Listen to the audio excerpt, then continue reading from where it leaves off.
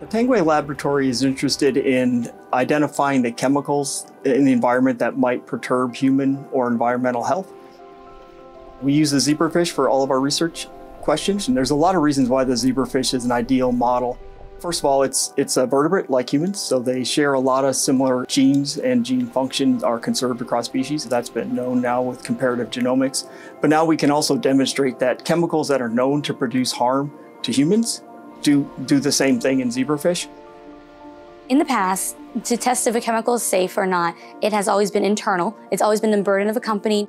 High throughput screening in our model is actually looking for chemicals in an automated way, a robust and systematic way to say if this chemical is a bad actor or a good actor and checking the bioactivity. And right now we're well known in the field for being able to help prioritize chemicals into either of those bins.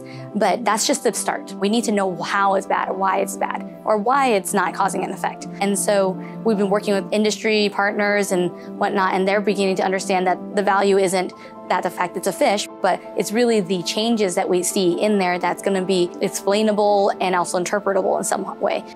Part of the challenges with high content and high throughput screens is that the data is very difficult to interpret. Many of the individuals that are involved in trying to develop safer compounds are scientists, but also non-scientists. They can include biologists, chemists, toxicologists, bioinformaticians, and uh, other professionals that are not necessarily within the scientific community. So what we have done is taken these high complexity data sets for zebrafish and for our own high content screens and combined them into a single platform and then made the data accessible in ways that scientists can take their own compounds, run through the same models, and compare that to a large library from known toxins, on-market therapeutics, and withdrawn drugs.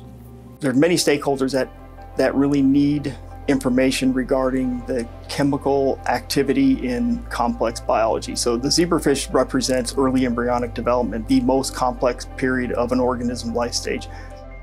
The scale that the Tanguay Lab does things is, is unmatched, certainly in any sort of organismal research. So they do things at such a grand scale and it's so repeatable and reproducible for a person like me who brings their bioinformatics and statistics toolbox. It's like a, a playground almost. You can roll out new methods uh, you can compare them to traditional methods you can have revisions in your methods and there's a reproducibility loop again where you can test something and then actually ask did that work going forward? And, and that, that predictive loop i think is really powerful Within this lab, Dr. Tanguay really fosters a sense of integrity and independence in the researchers, but together we all act as a team. So each person wants to see each other person succeed. So I think the students and postdocs who leave this lab leave as well-rounded scientists, leave with an understanding of the impacts of our work.